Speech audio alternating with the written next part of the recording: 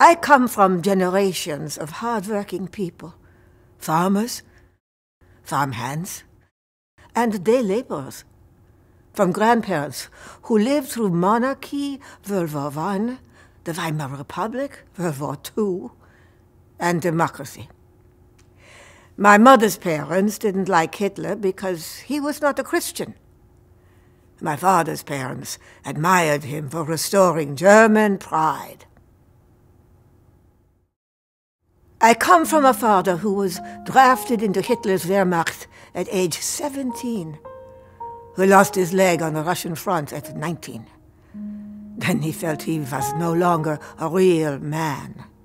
His screaming and phantom pains kept us up at night. I come from a mother ruled by fear and panic attacks, tortured by memories of sitting in crowded basements listening for the Royal Air Force to drop their deadly loads of bombs.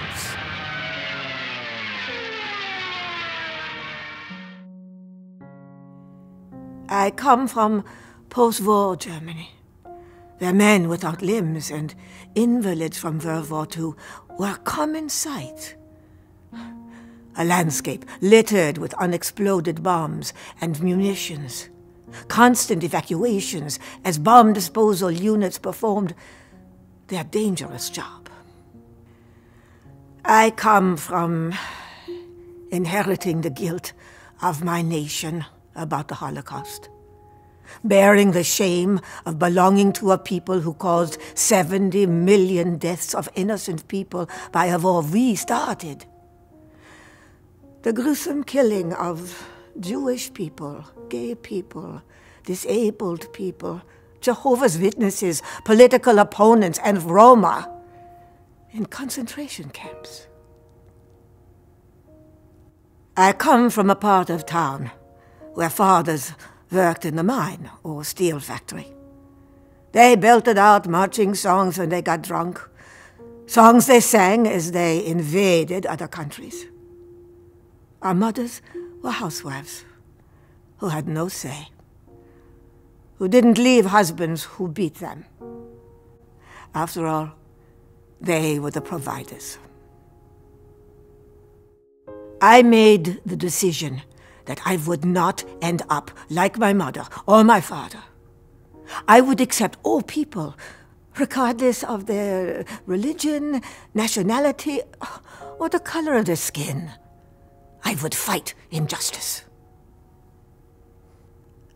I come from longing for world peace, with a real fear of World War III a war fought with nuclear weapons that could blow up the entire world. I come from the belief that I needed to get out, that education was my ticket to a better, freer life, my path out of misery.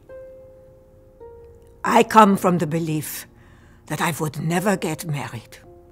I would never let a man treat me like my father treated my mother. I come from doubting the existence of a God who allowed the Holocaust, slavery, and too many injustices in our world. And now, I'm glad to make a difference in the lives of others. No longer depressed, but in love with life, happy to be part of the Unitarian Universalist Church, grateful for 25 plus years of happy marriage. I treasure life with all its ups and downs. Yeah, that is where I am from.